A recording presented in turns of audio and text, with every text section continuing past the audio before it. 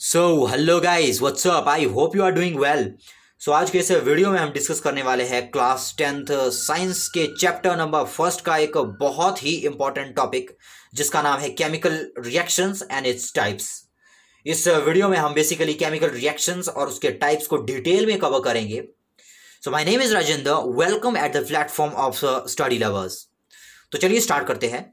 इससे पहले कि हम केमिकल रिएक्शंस के बारे में जाने, मैं आपका ध्यान थोड़ा सा प्रीवियस क्लासेस की ओर लेना चाहूँगा। इससे पहले आप लोग केमिकल चेंजेस और फ़िज़िकल चेंजेस के बारे में पढ़ चुके हो। केमिकल चेंजेस और फ़िज़िकल चेंजेस में क्या अंतर होता है?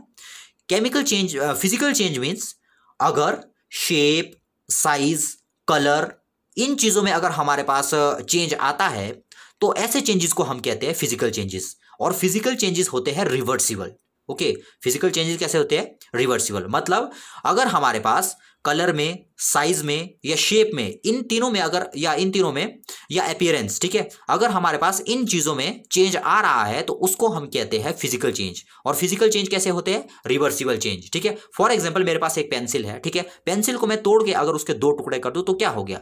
पेंसिल जो है, पहले एक थी, अब कितने हो गई? दो हो गई. मतलब फिजिकली वो क्या हो गई? चेंज हो गई. फिजिकली वो चेंज हो गई. ठीक है? अब मैं क्या कह रहा हूँ? फ़िज़िकल चेंजेस जो है रिवर्सिबल होती है। अब जो मैंने दो टुकड़े किए पेंसिल के, इनको मैं दोबारा जोड़ के जो है, दोबारा जोड़ के फिर से एक पेंसिल बना सकता हूँ।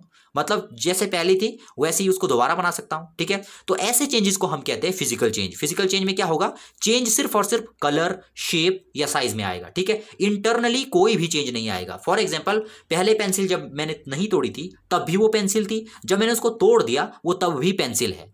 ठीक है ना? मतलब इंटरनली कोई चेंज नहीं हुआ। ऐसे चेंज को हम कहते हैं फ़िज़िकल चेंज और वो होते हैं रिवर्सिबल मतलब उनको रिवर्स किया जाता जा सकता है ऐसे ही चेंजेस को, ठीक है? ऑन द अदर हैंड कुछ चेंज हमारे पास होते हैं केमिकल चेंज ठीक है? केमिकल चेंज हम किन्हें कहते हैं? केमिकल चेंज वो वाले चेंज होते हैं जो हमारे पास होते हैं इरिवर्सिबल ठीक है? इरिवर्सिबल मतलब जिनको जो अगर, जो चेंज अगर हो गए, उनको दोबारा फिर मैं फ़र्स्ट फॉर्म में नहीं ला सकता हूँ, ठीक है?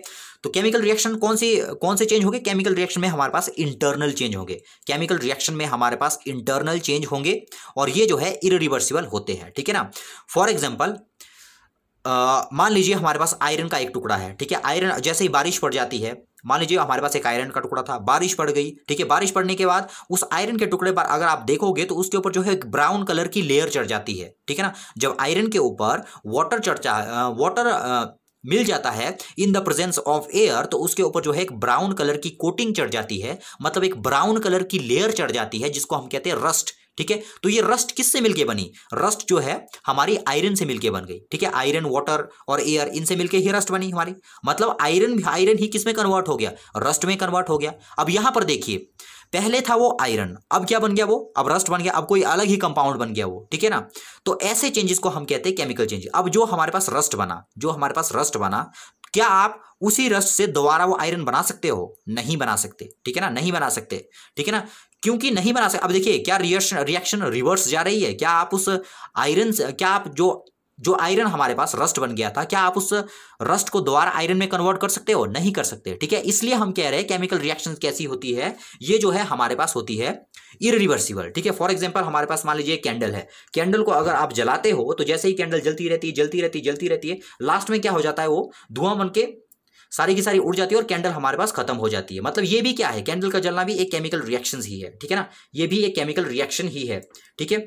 इसमें भी हमारे पास केमिकल चेंज होता है। मतलब पहले कैंडल होती, बाद में क्या? बाद में सब कुछ खत्म हो जाता है हमारे पास, ठीक है?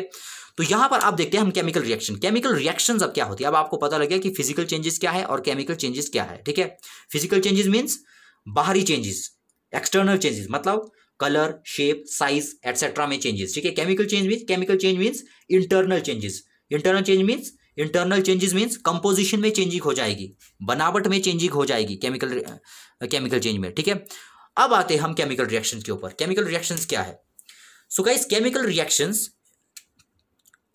वो वाले कुछ इवेंट है, ठीक है? केमिकल रिएक्शन हम उन इवेंट्स को कहते हैं जो केमिकल चेंजेस को लाते हैं, ठीक है ना? वो वाले events the events which brings the chemical changes are known as chemical reaction ठीक है? मतलब वो वाले इवेंट्स वो वाले इवेंट्स जिनकी वजह से एक केमिकल चेंज हो पाता है, उसको हम कहते हैं केमिकल रिएक्शंस ठीक है? तो इसकी डेफिनेशन हम यहाँ पर लिख लेते हैं। पहले इसकी डेफिनेशन लिख लीजिए आप केमिकल रिएक्शंस की, ठीक है? केमिकल रिएक्शंस हम किन्हें कहते हैं? The reactions the events the events that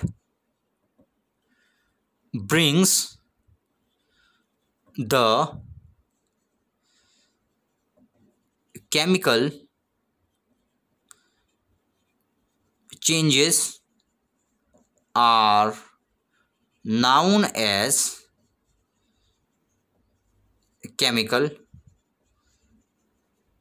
reactions मतलब वो वाले इवेंट जिनकी वजह से एक केमिकल रिएक्शन हो पाती है एक केमिकल सॉरी वो वाले इवेंट जिनकी वजह से केमिकल चेंज हो पाते हैं, उनको हम कहते हैं केमिकल रिएक्शन ओके वो वाले इवेंट्स जिनकी वजह से केमिकल चेंज हो पाते हैं, उनको हम क्या कहते हैं?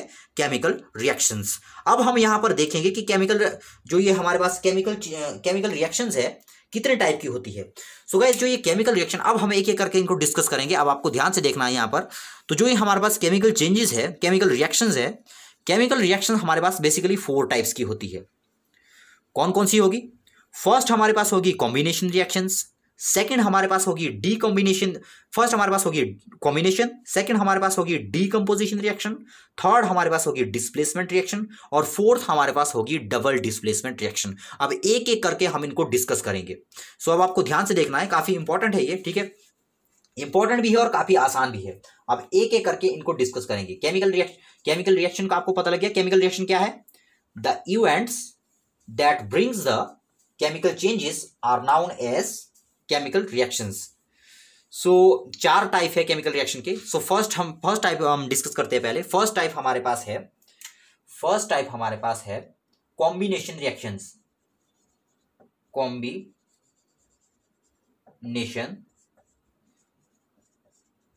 reactions combination reaction so guys यहाँ पर नाम से ही हमें पता लग रहा है कॉम्बिनेशन रिएक्शन कॉम्बिनेशन रिएक्शन कौन सी रिएक्शन होती है? पहले समझ लीजिए इनको. कॉम्बिनेशन रिएक्शन वो वाली रिएक्शन होती है जिनमें दो या दो से ज़्यादा रिएक्टेंट मिलकर सिंगल प्रोडक्ट बनाते हैं। ठीक है? अब एक बात आपको यहाँ पर याद रखनी है। जो चीज़ हम यहाँ पर राइट हैंड साइड जो हम इस साइड लिखेंगे, जो हम इस साइड लिखेंगे, उसको कहा जाता है रिएक्टेंट ठीक है? जो चीज़ हम यहाँ पर एरो के एरो के लेफ़्ट साइड में जिस चीज़ को लिखा जाता है, उसको कहते हैं रिएक्टेंट ठीक है? जो मतलब पहले जो चीज़ हमारे पास थी, उसको हम कहते हैं रिएक्टेंट ठीक है? जो चेंज होके, जो चेंज होके हमारे पास बाद में चीज़ बनेगी, उसको हम कहते हैं प्रोडक्ट तो ये आपको याद रखना है। जो ओरिजिनल चीज़ हमारे पास है, उसको हम कहते हैं रिएक्टेंट जिस और इस रिएक्टेंट में चेंज होके जो लास्ट में जो चीज़ हमारे पास बनती है, उसको हम कहते हैं प्रोडक्ट ठीक है? इस साइड हम, इसको इसको हम कहते हैं रिएक्टेंट रिएक्टेंट और इसको हम कहते हैं प्रोडक्ट इसको हम कहते हैं प्रोडक्ट सो नाम से पता लग रहा है कि कॉम्बिनेशन रिएक्शंस कॉम्बिनेशन रिएक्शंस कौन सी है? कॉम्बिनेशन रिएक्शंस वो वाली रिएक्शंस होती है जिनमें दो या दो से ज़्यादा रिएक्टेंट मिलकर एक सिंगल प्रोडक्ट बनाते हैं। इस तरह से A plus B plus C ये तीनों मिलके जो है ये दो भी हो सकते हैं, तीन भी हो सकते हैं, चार भी हो सकते हैं, कितने भी हो सकते हैं, ठीक है? रिएक्टेंट कितने भी हो सकते हैं, लेकिन प्रोडक्ट बनना चाहिए हमारे पास सिंगल ठीक है? प्रोडक्ट हमारे पास बनना चाहिए सिंगल मान लीजिए मैं लिखे जेड ठीक है? इस तरह से, यहाँ पर देखिए कॉम्बिनेशन रिएक्शन कौन सी है? कॉम्बिनेशन रिएक्शन वो वाली रिएक्शन होती है जिनमें दो या दो से ज़्यादा रिएक्टेंट मिलकर एक सिंगल प्रोडक्ट याद बनाते हैं, ठीक है? यहाँ पर आपको दो चीज़ें याद रखनी है कॉम्बिनेशन रिएक्शन में रिएक्टेंट दो से ज़्यादा कितने भी हो सकते हैं, लेकिन प्रोडक्ट हमारे पास ओनली सिंगल होगा, ठीक है? जो मतलब हमारे पास चीज़ बनेगी, ठीक है? जिन, यहाँ पर इससे आप, इसको आप इस तरह समझ सकते हो। जिस चीज़ से आप बना रहे हो, वो आप कितनी भी ले सकते हो, ठीक है? लेकिन जो चीज़ आपके पास बनेगी, वो सिंगल बनेगी, ठीक है? ये सिर्फ़ और सिर्फ़ जेड प्रोडक्ट हमारे पास बनेगा। प्रोडक्ट सिर्फ़ और सिर्फ़ जेड बनेगा। अब रिएक्टेंट आप कितने भी ले सकते हो ए बी सी डी जो भी आपको लेना है, आप कितने भी ले सकते हो, लेकिन प्रोडक्ट हमेशा कितना क्या बनना चाहिए? सिंगल बनना चाहिए, ठीक है? तो ऐसी रिएक्शन को हम कहते हैं कॉम्बिनेशन रिएक्शन ठीक है? सो इसको लिख लेते हैं पहले। अब सिंपल सिंपल सिंपल सी बात है, वो वाली रिएक्शन जिसमें दो या दो से ज़्यादा रिएक्टेंट मिलकर एक सिंगल प्रोडक्ट बनाते हैं, उसको हम कहते हैं कॉम्बिनेशन रिएक्शन ठीक है? इसका एग्ज़ाम्पल भी हम देखेंगे। पहले इसकी डेफिनेशन देख लेते हैं हम। What are combination reactions definition लिख लीजिए इसकी। The reactions the reactions in which two और more than two reactants combine to form a new to form a single इसकी जगह आप सिंगल कर दीजिए। To form a single S I N G L E single product product are known as are known as combination combination reactions R small कर दीजिए यहाँ पर। Are known as combination reaction ठीक है? अब इसका एक एग्ज़ाम्पल हम ले लेते हैं। एग्ज़ाम्पल इसका ले लेते हैं, यहाँ पर हम इस तरह से देख लीजिए। For example C A O calcium oxide plus ये हम सॉलिड लेते हैं, ठीक है? प्लस एच टू ओ ये लिक्विड है। इन दोनों को जब मैं कंबाइन करवाता हूँ क्विक क्लाइम और वाटर को तो हमारे पास मिल जाता है सी ए ओ एच एक एग्ज़ाम्पल भी आपको याद रखना। डेफिनेशन के साथ एक एग्ज़ाम्पल आपको याद होना चाहिए।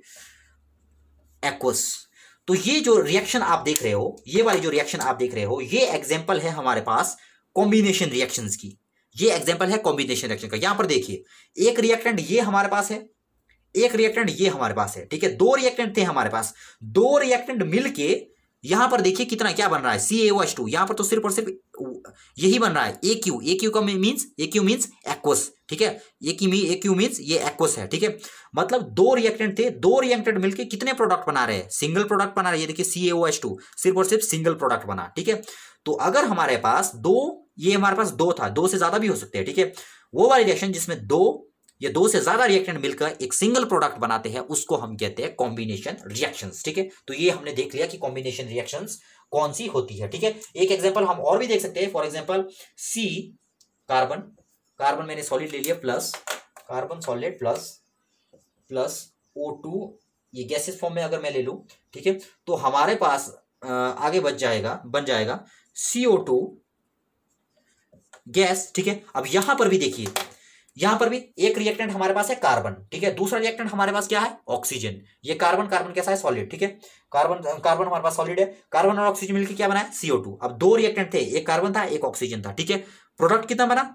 सिर्फ़ और सिर्फ़ एक ही प्रोडक्ट बना कार्बन डाइऑक्साइड प्रोडक्ट बना, ठीक है? तो ऐसी रिएक्शन को हम क्या कहते हैं, जिसमें सिंगल प्रोडक्ट बनता है, उनको हम कहते हैं कॉम्बिनेशन रिएक्शंस ठीक है? उनको हम कहते हैं कॉम्बिनेशन रिएक्शंस बिल्कुल सिंपल है। अब, दूसरे टाइप पर हम आते हैं।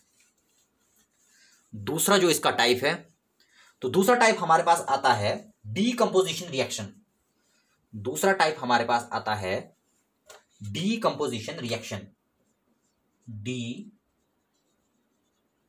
decomposition decomposition decomposition reactions now ये क्या है? ये बिल्कुल एग्जैक्ट उल्टा है कॉम्बिनेशन रिएक्शन का, ठीक है?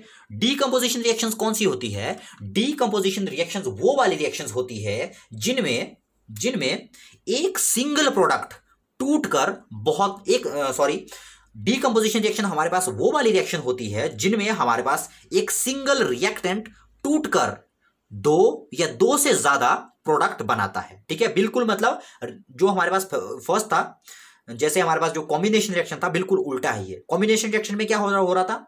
दो या दो से ज़्यादा रिएक्टेंट मिलके एक सिंगल प्रोडक्ट बना रहे थे। यहाँ पर उल्टा हो रहा है। यहाँ पर एक सिंगल रिएक्टेंट मतलब जो चीज़ हमारे पास यहाँ पर दी होगी, वो हमारे पास यहाँ पर ज़्यादा दी होगी, ठीक है? यहाँ पर रिएक्टेंट हमारे पास ज़्यादा दिए होंगे। रिएक्टेंट हमारे पास रिएक्टेंट हमारे पास सॉरी रिएक्टेंट हमारे पास एक दिया होगा प्रोडक्ट हमारे पास बहुत सारे बनेंगे, ठीक है? कैसे यहाँ पर एग्ज़ाम्पल देखते हैं? फॉर एग्ज़ाम्पल एग्ज़ाम्पल देखते हैं डीकम्पोजिशन रिएक्शन का। या रिप्रेजेंट करता हूँ इसको। फॉर एग्ज़ाम्पल ए ए हमारे पास रिएक्टेंट था, ठीक है? तो ए टूटकर यहाँ पर हमारे पास बना रहा है बी प्लस सी ठीक है? अब यहाँ पर देखिए रिएक्टेंट कितना था हमारे पास? सिर्फ़ और सिर्फ़ एक रिएक्टेंट था, ठीक है? प्रोडक्ट कितने बन रहे हैं? एक से ज़्यादा प्रोडक्ट बन रहे हैं, ठीक है? ऐसी रिएक्शंस को हम कहते हैं डीकंपोजिशन रिएक्शन जिसमें डीकंपोजिशन रिएक्शन किनको कहेंगे? Decomposition reactions are those reactions in which a single reactant in which a single reactant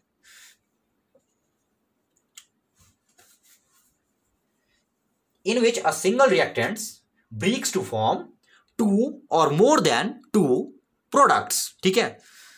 तो इसकी डेफिनेशन यहाँ पर लिख लेते हैं हम पहले। एग्ज़ाम्पल इसका बाद में देखेंगे।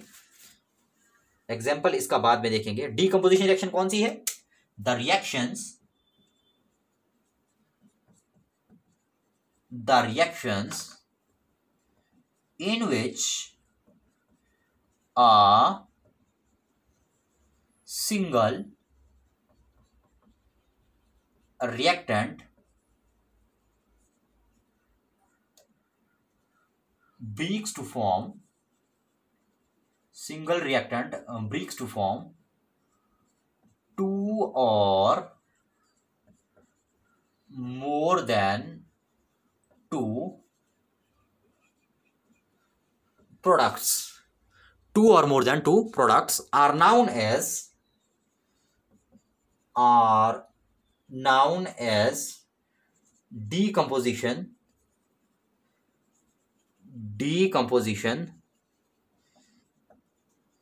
reactions मतलब वो वाली रिएक्शन जिसमें एक कंपाउंड ब्रीक करके दो या दो से ज़्यादा एक रिएक्टेंट हमारे पास टूट कर दो या दो से ज़्यादा हमारे पास रिएक्ट प्रोडक्ट बनाएगा। एक रिएक्टेंट टूट के दो या दो से ज़्यादा प्रोडक्ट बनाएगा। फॉर एग्ज़ाम्पल एग्ज़ाम्पल देख लेते हैं एक इसका डीकम्पोजिशन रिएक्शन का।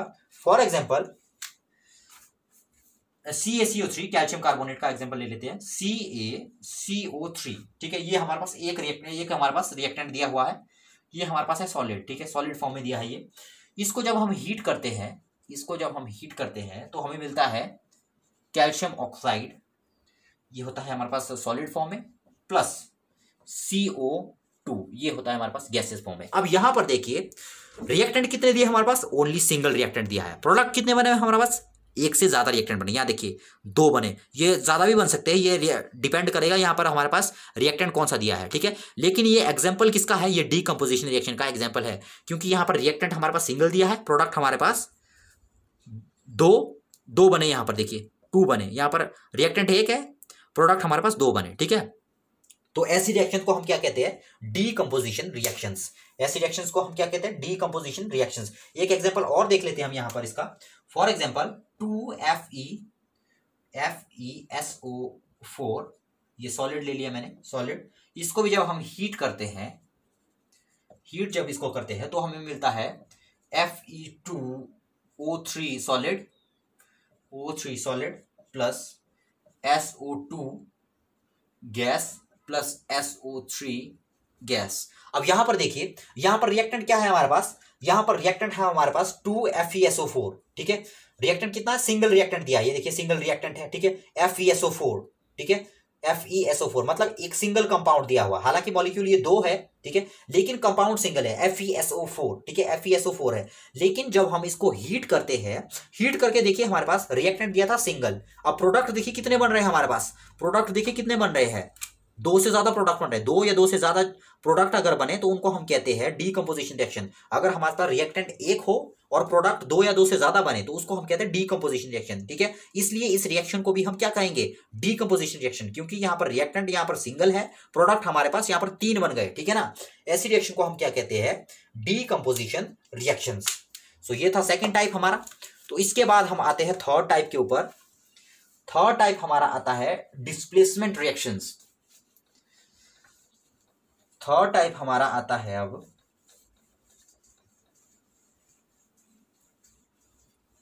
Displacement reactions displacement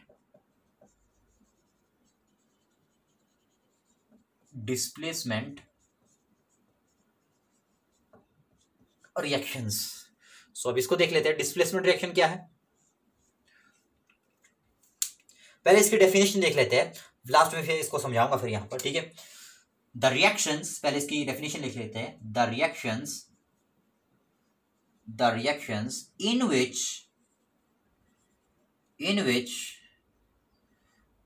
the more active element और group replace the reactions in which the more active element or group replace less active less active element or group are known as are known as displacement are known as displacement reactions तो displacement reaction क्यों कहेंगे? Displacement reaction वो वाली reactions होती है जिनमें एक element का, एक एलिमेंट के less active less active element या ग्रुप को कोई दूसरा एक्टिव एलिमेंट या ग्रुप रिप्लेस कर लेता है। फॉर एग्ज़ाम्पल मान लीजिए मेरे पास एक कंपाउंड दिया हुआ है। ये रिप्रेजेंट करता हूँ पहले मान लीजिए। फॉर एग्ज़ाम्पल ए प्लस ये इस तरह से एक कंपाउंड ले लीजिए, यहाँ पर ये ले लिया मैंने। ए बी मान लीजिए ए बी मेरे पास कोई एक रिएक्टेंट है, ठीक है? ए बी मेरे पास एक रिएक्टेंट है, ठीक है? ए बी ए बी ये था मेरे पास एक रिएक्टेंट ठीक है? ये रिएक्टेंट है अभी, ठीक है? मान लीजिए ये किसी दूसरे रिएक्टेंट के साथ कंबाइन करते हैं, जैसे ये सी के साथ कंबाइन किए, जैसे ये सी के साथ कंबाइन किए, मान लीजिए ये बी जो है लेस रिएक्टिव है सी जो है मोर रिएक्टिव है। अगर बी हमारे पास लेस रिएक्टिव होगा और सी हमारे पास जो है मोर रिएक्टिव होगा तो उस केस में क्या हो जाएगा? ये जो सी है, इस बी को जो है यहाँ से निकाल देगा। इस ए के ए के साथ, पहले तो ये ए के साथ चिपका हुआ था ये ए ठीक है? पहले ये बी जो है ए के साथ चिपका हुआ था, लेकिन अगर सी इससे ज़्यादा रिएक्टिव होगा बी से तो ये क्या करेगा? इस बी को यहाँ से निकाल देगा। मतलब खुद जो है ए की ए सी के साथ फिक्स हो जाएगा और बी को क्या कर देगा? बी को बाहर निकाल देगा, ठीक है? ऐसी रिएक्शंस को हम कहते हैं डिस्प्लेसमेंट रिएक्शन अब डिस्प्लेस अब डिस्प्लेसमेंट नाम से ही पता लग रहा है, देखिए डिस्प्लेसमेंट किसी की डिस्प्लेसमेंट हो रही है, किसी को डिस्प्लेस किया जा रहा है, ठीक है? अब देखिए डिस्प्लेस कौन होगा? डिस्प्लेस वो वाला एटम या ग्रुप होगा जो लेस रिएक्टिव होगा। यहाँ पर देखिए ए बी ए बी में बी जो है लेस रिएक्टिव था सी जो है ज़्यादा रिएक्टिव था, ठीक है? तो इस केस में क्या हुआ? सी ने जो है बी को यहाँ से रिप्लेस कर दिया, ठीक है ना? सी ने बी को रिप्लेस कर दिया और खुद इसके साथ फिक्स हो गया, यहाँ देखिए ए सी प्लस बी ठीक है ना? ए सी प्लस बी यहाँ पर देखिए ये रिप्लेस हो गया है। ठीक है? ये जो है डिस्प्ले डिस्प्लेस कर दिया इसको, इसलिए इसको, इन रिएक्शन इस रिएक्शन को क्या कहते हैं हम? डिस्प्लेसमेंट डिस्प्लेसमेंट रिएक्शन अब इसका एग्जांपल देख लेते हैं। ये तो इसकी रिप्रेजेंटेशन थी, ठीक है? अब इसका एक एग्ज़ाम्पल देते हैं। एक एग्जांपल इसका हम देख लेते हैं।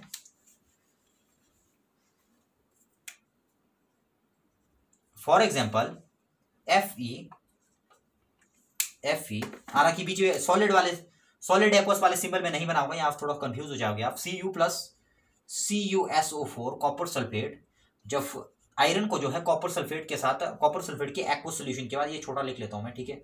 एक्वस ये है, ये सॉलिड है, ठीक है? ये जो दो कंबाइन करते हैं तो हमारे पास क्या आता है? तो यहाँ पर देखिए, यहाँ देखना ध्यान से देखना आपने, एक एलिमेंट दिया हमारे पास एफ़ ठीक है? एक दिया है हमारे पास कॉपर ठीक है? अब जो ये हमारे पास एफ़ ई दिया हुआ है, ये ज़्यादा रिएक्टिव होता है एज कंपेयर टू कॉपर ठीक है? इसलिए ये क्या करेगा ये एफ़ ई इस कॉपर को यहाँ से निकाल देगा, ठीक है? कॉपर को यहाँ से निकाल देगा और खुद जो है एसओ फोर के साथ ये कॉम्बिनेशन में आ जाएगा, ठीक है? अब यहाँ देखिएगा एफ़ ई सी अब इसको ये कम रिएक्टिव है, इसलिए इसको यहाँ से निकाल देगा ये आयरन ये आयरन ठीक है? अब देखिए एफ़ ई एफ़ ई किसका कंबाइन हो जाएगा? इसके साथ एफ़ ई एसओ फोर अब इस सी यू की जगह किसने ले ली? एफ़ की। ठीक है? और सी यू को क्या कर दिया इसने? बाहर निकाल दिया। ठीक है? तो ऐसी रिएक्शंस को हम क्या कहते हैं? ऐसी रिएक्शंस को हम कहते हैं डिस्प्लेसमेंट रिएक्शन जिसमें एक मोर एक्टिव एलिमेंट किसी दूसरे लेस रिएक्टिव एलिमेंट को किसी कंपाउंड से बाहर निकाल देता है और खुद वहाँ पर जो है फिक्स हो जाता है उसके साथ। ठीक है? ऐसे रिएक्शन को हम क्या कहते हैं? डिस्प्लेसमेंट डिस्प्लेसमेंट रिएक्शन एक एग्जांपल हम और ले सकते हैं इसका।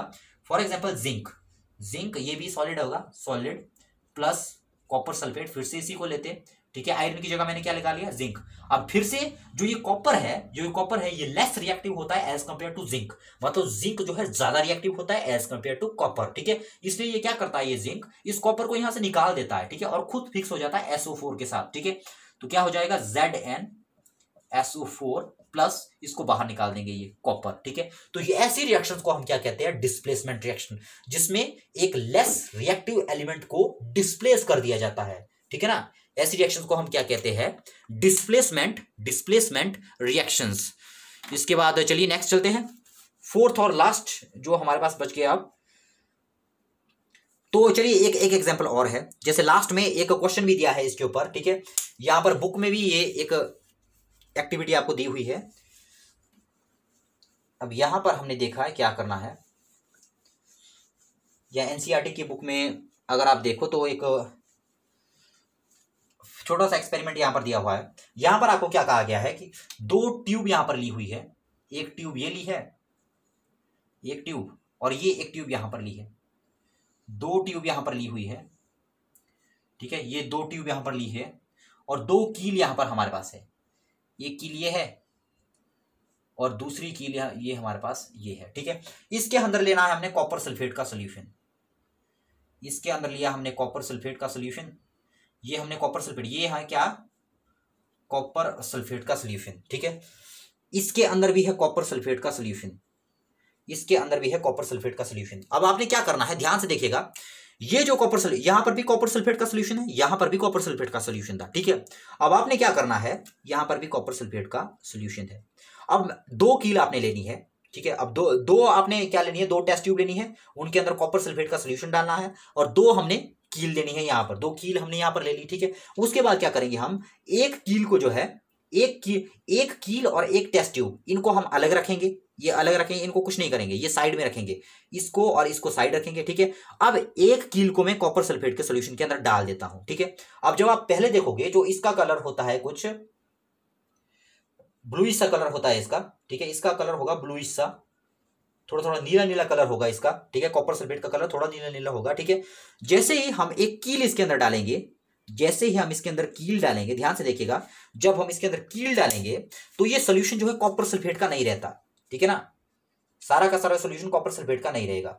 पहले ये कैसा था? ब्लूइश कलर का। लेकिन जैसे ही इसके अंदर मैं कील डालूँगा तो कुछ समय के बाद अगर मैं देखूँ तो जो ये कलर होगा यहाँ पर copper sulphate copper sulphate copper sulphate जो ये हमारे पास सोल्यूशन था, हालाँकि अब तो ये कॉपर सल्फेट नहीं रहेगा, ठीक है? ये कील कील किससे बनती है? आयरन की बनी होती है, ठीक है? अब जैसे ही मैं कुछ देर के बाद इसको देखूँगा, इस टेस्ट ट्यूब का तो मैं देखूँगा तो हम देखते हैं कि जो ब्लूइश कलर था यहाँ पर यहाँ पर भी ब्लूइश था, यहाँ पर भी ब्लूइश था। लेकिन जैसे ही मैंने कील डाली थी तो कुछ समय के बाद मैंने क्या देखा, जो ये कलर है यहाँ पर थोड़ा सा ग्रीनिश हो जाता है। ठीक है ना? कैसा हो जाएगा? ग्रीनिश सा हो जाएगा। पहले ब्लूइश था, अब कैसा हो जाएगा ये? ग्रीनिश सा हो जाएगा। ठीक है? ऐसा क्यों हुआ? ऐसा क्यों हुआ? ऐसा इसलिए हुआ क्योंकि इस कील के अंदर जो आयरन था, ठीक है ना? इस कील के अंदर जो आयरन था, उसने डिस्प्लेस कर दिया। यहाँ पर देखिए सोल्यूशन किस चीज़ का था? कॉपर सल्फेट का सोल्यूशन था। यहाँ पर कॉपर सल्फेट का सोल्यूशन था ठीक है? इसके अंदर जो आयरन था, इसके अंदर जो एफ़ था, इस कील के अंदर जो एफ़ था, उसने जो है, इस कॉपर को यहाँ से निकाल दिया, जो कॉपर सल्फेट के साथ जुड़ा हुआ था, और खुद इसके साथ जुड़ गया, ठीक है ना? खुद इसके साथ जुड़ गया। मतलब ये सॉल्यूशन हमारे पास कैसा हो जाएगा? ये सॉल्यूशन हमारे पास कैसा हो जाएगा? ये सॉल्यूशन में हमारे पास एफ़ भी होगा। एफ़ हालाँकि कॉपर सल्फेट भी है। सारे के सारे कॉपर को तो ये रिप्लेस नहीं कर पाएगा, ठीक है? क्योंकि कील हमारे पास बहुत छोटी है, ठीक है ना? लेकिन बहुत सारा बहुत सारा हमारे पास इस सोल्यूशन के अंदर अब फेरस सल्फेट भी होगा। कॉपर सल्फेट ही नहीं होगा, सिर्फ़ और सिर्फ़ सिर्फ़ और सिर्फ़ कॉपर सल्फेट नहीं होगा। साथ में क्या होगा? अब हमारे पास फेरस सल्फेट भी होगा, ठीक है ना? फेरस सल्फेट भी होगा। ऐसा क्यों हुआ? ऐसा क्यों हुआ? ये बिल्कुल उसी उसी, उसी रिएक्शन से हुआ देखिए। फ़र्स्ट में हमारे पास क्या था? कॉपर सल्फेट ये था हमारे पास ये सोल्यूशन ठीक है? जैसे ही ये यहाँ पर कील के साथ जुड़ा कील में क्या था? कील में हमारे पास था आयरन कील था आयरन ठीक है? तो डिस्प्लेसमेंट रिएक्शन हुई। एफ़ ई फोर मतलब यहाँ से इसने इस सोल्यूशन से इसने एसओ फोर को निकाल दिया और खुद कील से जो है एफ़ ई बाहर निकला ठीक है ना? तो यहाँ पर F E S O four हो गया प्लस साथ में क्या आ गया? कॉपर कॉपर जो है बाहर चला गया ठीक है? और जो ये बाहर निकलेगा कॉपर इस सोल्यूशन से कील से निकला एफ़ वो चला गया बाहर। उसने वो कॉपर सल्फेट के साथ जुड़ गया और कॉपर को उसने बाहर निकाल दिया। अब जो कॉपर उसने बाहर निकाला, वो सारा का सारा इस कील में जुड़ता जाएगा। वो सारा का सारा कॉपर जो है, इस कील में जुड़ता जाएगा, ठीक है? अब जब बाद में इस कील को मैं निकालूँगा तो मैं दो चीज़ें ऑब्ज़र्व करूँगा, ठीक है ना? जब इस कील को बाहर निकाल दिया जाता है तो दो चीज़ें ऑब्ज़र्व होती है। वो क्या? एक तो इस कलर का, एक तो इस सोल्यूशन का कलर चेंज हो गया। कलर चेंज क्यों हुआ? कलर चेंज इसलिए हुआ क्योंकि जो हमारे पास आयरन था, आयरन की जो कील थी, उसने जो है कॉपर सल्फेट में से कॉपर को बाहर निकाल दिया। ठीक है, कॉपर सल्फेट का सोल्यूशन होता है ब्लूइश कलर का। लेकिन इस आयरन ने कॉपर को बाहर निकाल दिया, इसलिए इसका कलर भी चेंज हो गया।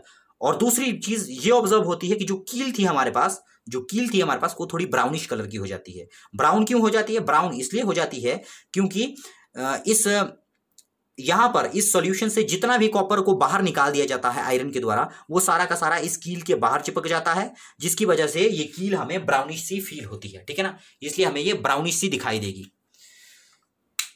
सो so, ये था एक एग्ज़ाम्पल डिस्प्लेसमेंट रिएक्शन का। अब आ जाते हैं हम डबल डिस्प्लेसमेंट रिएक्शन पर।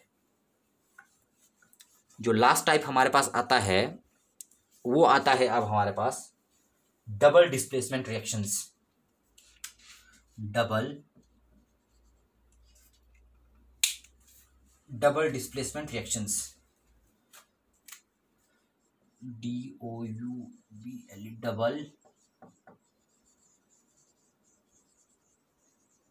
displacement reactions double displacement reactions so पहले इसकी डेफिनेशन लिख लेते हैं.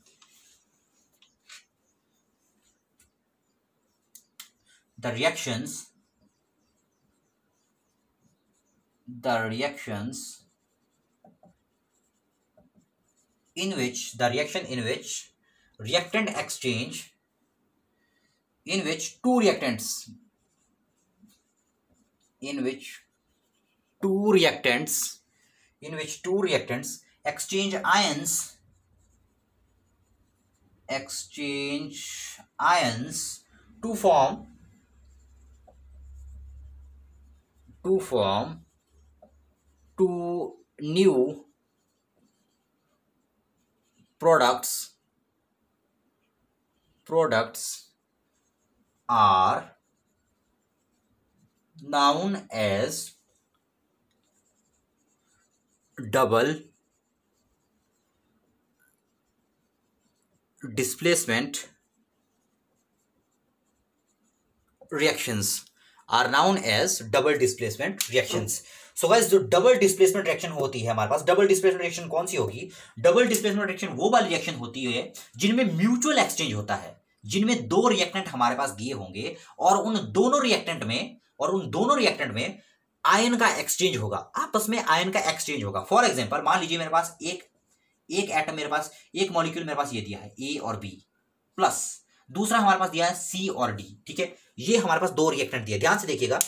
पहले वाले में हमने क्या देखा? डिस्प्लेसमेंट रिएक्शन उसमें क्या होता था? यहाँ पर एक होता था, वो जो है यहाँ से एक एटम को बाहर निकाल देता और खुद वहाँ पर फिक्स हो जाता था, ठीक है? लेकिन यहाँ पर क्या होगा? यहाँ पर दोनों तरफ़ अदला बदली होगी। यहाँ पर दो तरफ़ अदला बदली होगी, ठीक है ना? अदला बदली होगी यहाँ पर। अदला बदली कैसे होगी?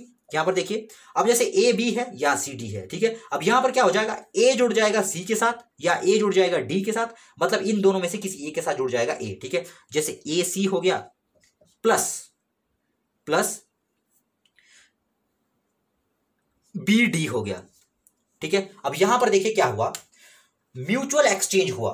ठीक है ना? म्यूचुअल एक्सचेंज हुआ। मतलब बी यहाँ से चला गया और यहाँ से क्या चला गया? यहाँ से जो है हमारा सी चला गया। ठीक है ना? म्यूचुअल एक्सचेंज हो दोनों तरफ़ एक्सचेंज हो रहा है। ठीक है ना? आयन यहाँ देखिए क्या लिखा है? The reaction in which two reactants ये दो रिएक्टेंट है। एक रिएक्टेंट ये है, एक रिएक्टेंट ये दिए। ठीक है? The reactions in which two reactants exchange ion अब देखिए आयन आयन आयन जो है, हमारे एक्सचेंज हो रहे हैं। यहाँ पर कौन कौन से चेंज हुए? कौन कौन से एक्सचेंज हुए? बी और बी और सी जो है एक्सचेंज हो गए। ये यहाँ चला गया। ये यहाँ चला गया। एक्सचेंज हुआ ना? म्यूचुअल एक्सचेंज हुआ। एक जगह से एक्सचेंज नहीं हुआ, दोनों जगह से एक्सचेंज हुआ। ठीक है ना? दोनों जगह एक्सचेंज हुआ, इसलिए इसको कहते हैं। मतलब दोनों जगह डिस्प्लेसमेंट हुई। ये यहाँ डिस्प्लेस हो रहा है, एक डिस्प्लेसमेंट यहाँ हो रही है, एक डिस्प्लेसमेंट यहाँ हो रही है। ठीक है?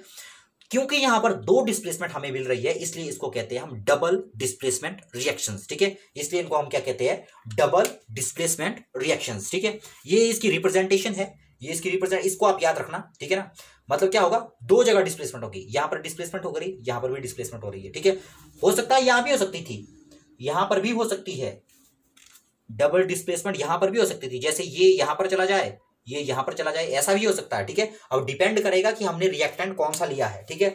तो ये थी हमारी डबल डिस्प्लेसमेंट रिएक्शन इसके बाद एग्ज़ाम्पल देखते हैं इसका. एग्ज़ाम्पल हमने नहीं देखा डबल डिस्प्लेसमेंट रिएक्शन का. For example N A two S O four N A two S O four ये हमारे पास है एक्वस में दिया हुआ ए क्यू ठीक है?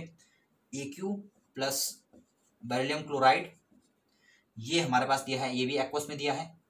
ए क्यू ठीक है? इससे हमें मिलता है बी ए अब देखिए, यहाँ पर एक्सचेंज हो जाएगा। यहाँ पर देखिएगा, ये डबल डिस्प्लेसमेंट रिएक्शन का एग्ज़ाम्पल है। यहाँ पर क्या हो जाएगा?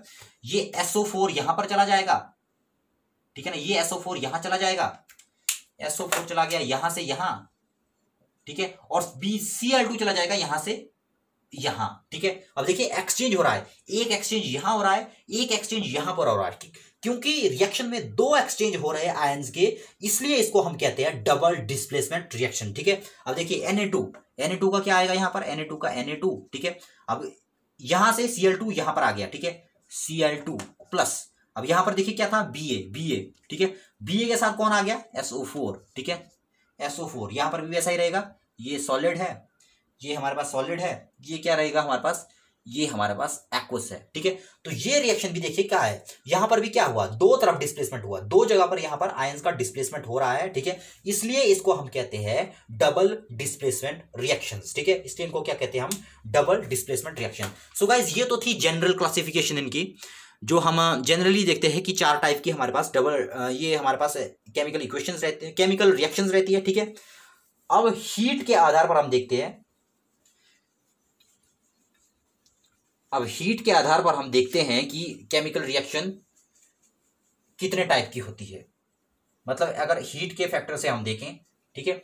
अब दो टाइप आपको और याद रखने हैं केमिकल इक्वेशंस के। एक रिएक्शन कुछ रिएक्शंस को हम कहते हैं एंडोथर्मिक रिएक्शंस एंडो